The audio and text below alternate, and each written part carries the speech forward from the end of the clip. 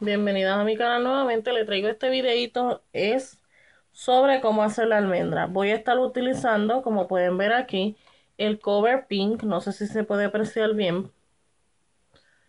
Eh, the Rose Nails. Rose, Roses Nail. Puse rosa aquí, pero no es rose. Es Roses Nail. Ok. Um, su acrílico ya me lo envió en estos días. Voy a arreglar esto aquí porque si no, meto la pata todo el tiempo. Eh, voy a estar utilizando el vasito de monómero que me regaló mi amiguita Mossy Nails. Eh, ella me lo envió. Cuando tú metes el acrílico, disculpen. Es que no, no puedo estar haciendo el mismo video todo el tiempo, pero aprovecho a que lo acabo de dejar ahí sin, sin monómero y no lo limpié. Ok. Lo moja. Yo lo mojo, escurro un poquito y le paso, no lo paso fuerte, suave. Si le queda algún residuo, como ahora aquí, pues yo no lo limpié ayer. Ok. Se va a salir. Es algo suave, no es que venga uno y le haga así en el no. Es algo suave para que sus celdas no tengan nada. Ok, como pueden ver. No tienen nada. Yo siempre estoy pendiente a eso con mis pinceles. Para tú sacar el aire, tú lo sumerges completo. Como si lo fueras a abrir un abanico. Entonces, golpea. Ya, lo, ya le sacaste el aire una vez, ya no tienes que estar sacándole el aire cada vez que metas el pincel. ¿Ok? Es así que se, que se mete el pincel. La bolita de corote o la canica, ¿ok? O bulones, como mucha gente los conoce eh, es para que el acrílico o el monómero no se cristalice. Yo la uso siempre. Tengo en todos los vasitos de monómeros, tengo una bolita. ¿Ok? Voy a utilizar estos tips que me envió también mi amiguita Mossy para hacerles el eh, el ejemplo este de cómo hacer la almendra. Esta tip, obvio, no tiene eh, como almendra. Pues yo me la voy a imaginar como cuando uno tiene nada más unos tuquitos. Pues la voy a poner de esta manera. Ay, mi cuerito termina ahí. Como yo le digo a esto, la, la de mi piel. Lo mojo en la punta del pincel y empiezo a darle palmadita. Para un lado y para el otro. Ven se empieza a, acomodar con la con el cuerpo del pincel. Yo no estoy haciendo con la punta lo estoy haciendo con el cuerpo del pincel. Ok y con la punta o el ladito del pincel empezamos a marcar. Pues yo quiero terminar la parte de arriba, pues la termino. Lo voy a regar aquí en la parte de arriba, ya que esto es cuadrado. Y voy a continuar. Por eso, a mí no, casi no me gusta esto ah, para hacer acrílico, casi siempre esto para, para hacer diseño. Pero la voy a utilizar para eso. Entonces, si ustedes quieren una almendra un poco más larga, ustedes cogen el acrílico.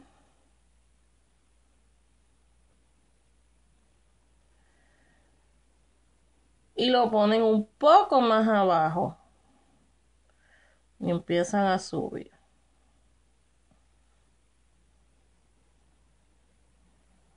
Ok. Pues yo quiero mi acrílico, mi almendra un poco más larga, pues la pongo de esa manera. Y con la punta del pincel o el lateral del pincel empiezo a acomodar para que se me ponga la curvita. Ok.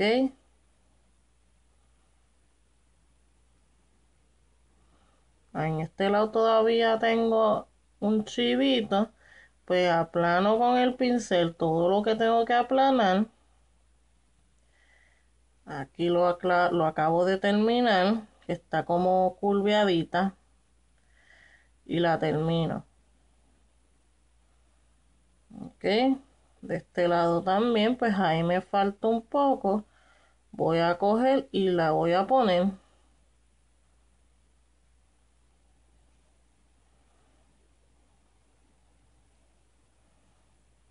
y ya está. No es ninguna ciencia.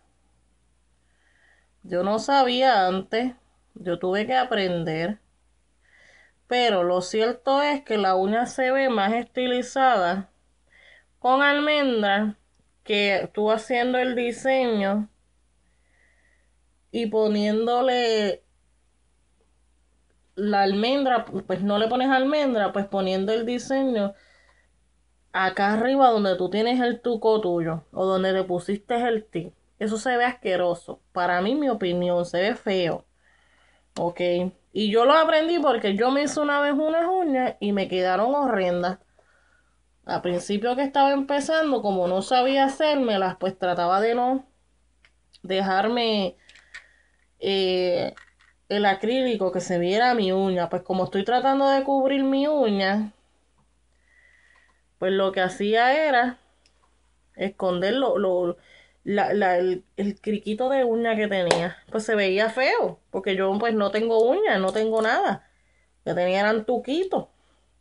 Pues entonces aprendí que tenía que hacerlo. Ah, pues me dejo llevar por lo menos yo lo cogí así, de este truco. Me dejo llevar por donde termina mi, mi cuerito, mi, mi, mi, barriguita de, de, uña.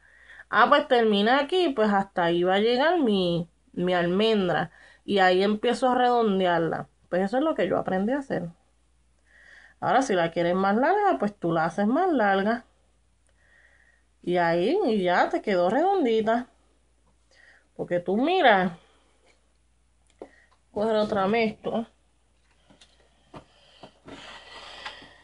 Para que vean la diferencia, voy a usar mi mix de scooby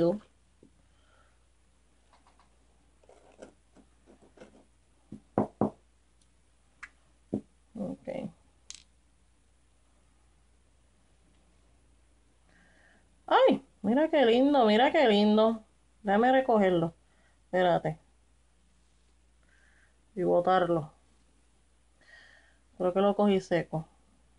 Es que no tiene mucho acrílico esta, esta mezcla. Lo voy a mojar por encima para que se quede quieto.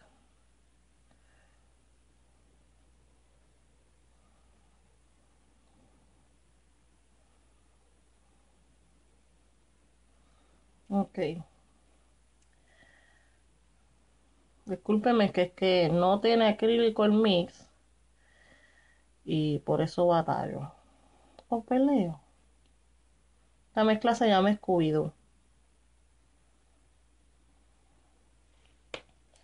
Voy a poner un poco de clear. Eh, a la uña porque es que el mix como no lo uso mucho, pues yo no, cuando son mixes que yo no uso mucho, no le pongo acrílico. Ok.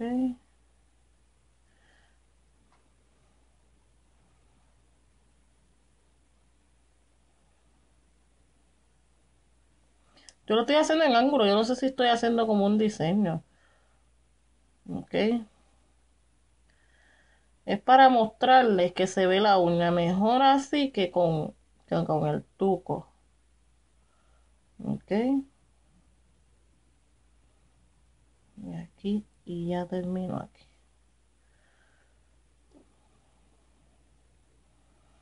voy a poner cerrar esto. Porque me vuelvo bruta y tumbo todo. Voy a ponerle clear. Lo voy a encapsular.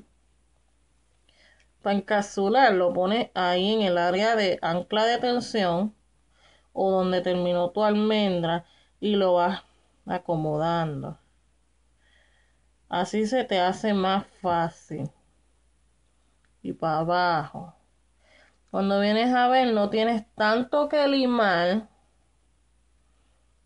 Y no peleas tanto con el acrílico para limarlo. me falta un poco, pues le pongo un poco más. Y lo limo hacia al revés, lo mismo para atrás. Déjame acomodar esto aquí. Entonces, yo no peleo mucho, pero hay muchas personas que están comenzando y necesitan aprender. ¿Ok?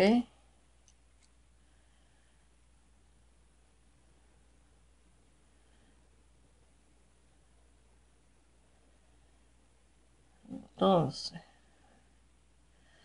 tú acomodas tu área.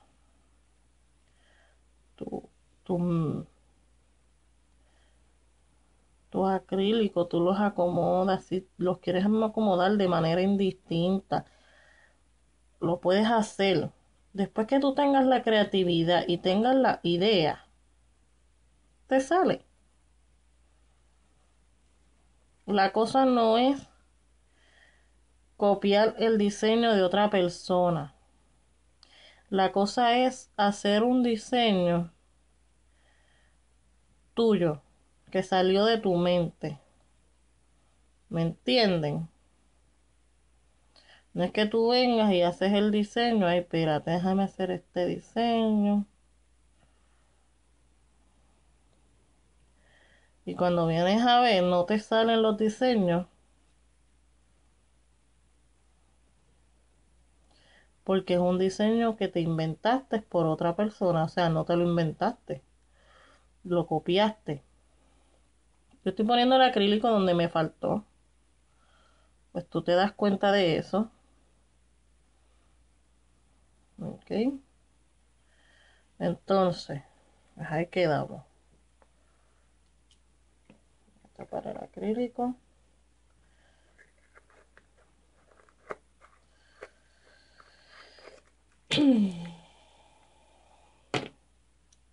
Muchas veces, y lo he dicho por experiencia, y la verdad yo no me arrepiento cuando yo digo las cosas que me han pasado. A mí me sucedió una vez que esta persona vino y quería su uña. Esta persona no tenía nada de uñas, nada de cama, nada de nada ni nada. Yo, yo pensaba que estaba jodida. Pues esa persona no tenía nada. Nada de cama de uñas. Y esta persona quería unas uñotas más largas que las mías. No sé por qué. A darle brilla que se seque y les sigo platicando. Ya voy por 13 minutos, eso no puedo exagerarme. Todavía no suena, eso quiere decir que no está seco. Cuando suene así, es que lo está. Aquí tengo el... Como pueden escuchar, ¿ok? Eh, esta persona quería que yo le hiciera las uñas bien largas, lo que tenía eran unos tuquitos, cosa de nada, te digo, les digo. Y yo le dije, le advertí, se te pueden salir por, por ser tu cama de la uña tan chiquita. Es uno de los riesgos que yo también me tomo, que se me partan rápido. Yo me tomo ese riesgo. Pero yo sé que me lo tomo. ¿Me entiendes? Yo no voy a romper, hacerle las uñas a alguien y que yo sé que se le pueden romper las uñas o partirse la uña, incluso partirse la de ellos, pues yo no me arriesgo, pues yo le informo, mira, pasa esto, Ya, si tú te quieres arriesgar, pues es tu problema. Pues la persona quería las uñas de todos modos, obligado. Pues yo se las hice. No le pasó nada malo, gracias a Dios. Pero vino el retoque. Cuando vino al retoque, esta persona me trajo unas uñas totalmente maltratadas. Y me trajo las uñas que se le habían despegado o se le habían arrancado y ella se las pegó para atrás. Ella vino como un mes y medio después. Y yo le dije, si se te salieron las uñas, ¿en cuánto tiempo?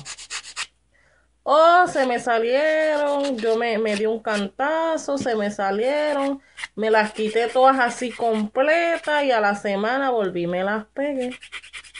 Pues vino a hacerse retoque con unas uñas que ya se le habían salido. Con un producto que ya yo no le había puesto porque yo no le puse la pega que yo usó. Entonces, eh, el caso es que vino y se las hizo. No quería que yo le quitara la uña, pero yo no le hice ese trabajo más nada. Yo se lo dije a ella, tú me perdonas, pero yo no te voy a hacer eh, ningún diseño ni ningún retoque. Porque ya tú te sacaste la uña. Ya tú te metiste otra pega, te pusiste otro están feas. Yo no voy a hacer un trabajo encima de ese para que a la semana o a los dos días de haberle puesto más acrílico encima se le salga y me llame. Mira, se me cayó la uña por tu culpa. ¿Me entienden? Si la persona viene con unas uñas comidas o unas uñas totalmente maltratadas, tú no le vas a hacer las uñas. ¿Ven? Con una almendra el diseño se ve brutal. Y hace poco, la voy a poner aquí encima porque está mojada. Yo tenía este set. Yo siempre guardo mis uñas. Tenía este set. Y como pueden ver, yo me hice la almendra normal. Eh, un color, un tamaño normal. Cuando tú te haces la almendra mucho más larga porque tu uña es larga, la uña se ve más estilizada. Pero ¿qué pasa? A mí no me llama la atención la uñota así de larga y la almendra está acá abajo. Porque yo sé que esta uña no es mía. Esto que está simulando lo que es la almendra simula ser tu uña. Yo sé que mi almendra no llega a mitad de uña. So, yo no me la voy a hacer hasta allá abajo aunque sea extendida o no, yo no me la voy a hacer hasta mitad de horno. Pero anyway, el punto es que con almendra las uñas se ven mucho más bonitas. ¿Ok? Espero que los videos sean de su gran ayuda. Voy a tratar de seguir subiéndole más videos en esta semana. Así que pues, será hasta la próxima y hasta el próximo video. Bendiciones a toditas. Bye.